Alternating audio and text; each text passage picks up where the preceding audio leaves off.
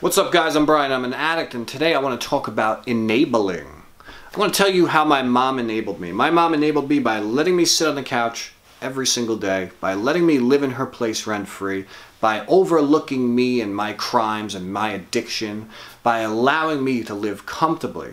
You know, they would say, oh, he doesn't have that much, he just has a bedroom, he has no money. Yo, I was in paradise. I can get high here. You got some free cheese in the uh, refrigerator. You got some free water. You got some free soda. You're going to give me $5 gas and pay for my car. You're going to pay for my cell phone bill. And I am going to live a mental crazy life in the room over while you're living your normal life. I am going to destroy myself in my bedroom. Like that's how my mom enabled me. By just saying, well, at least he's still alive. At least I know where he is, man. The best day of my life is when they finally came to me and they said, dude, you are out. You are hitting the streets. That's how I got sober, man. They kicked me to the curb and I was like, uh, it's too cold and I'm afraid to be homeless.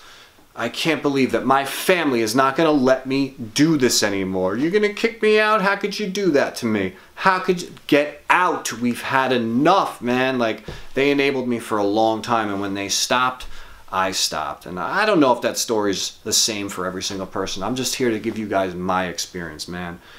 If someone in your family is using, do not enable them, man. Don't give them the cash to pay their cell phone bill. Don't pay for their car payment. All you could do is love them. Love them and pass on information of recovery. The best day of my life is when no one indirectly helped me live my horrible life and made it any easier for me. When it was completely impossible for me to be the addict that I wanted and needed to be, I stopped when I realized that I didn't want to be homeless and my sister wouldn't let me sleep on her couch anymore and I wasn't welcome at my other sisters and my brother was smart enough to protect himself from me because he didn't want me around his kids, that's when I got better, when I had no choice. I hit my bottom and my bottom was homeless. My bottom was no one's going to finance this thing anymore. No one's going to give me money anymore. No one's going to let me eat free food anymore. And I ended up in a rehab and I said, I have no choice but to get sober.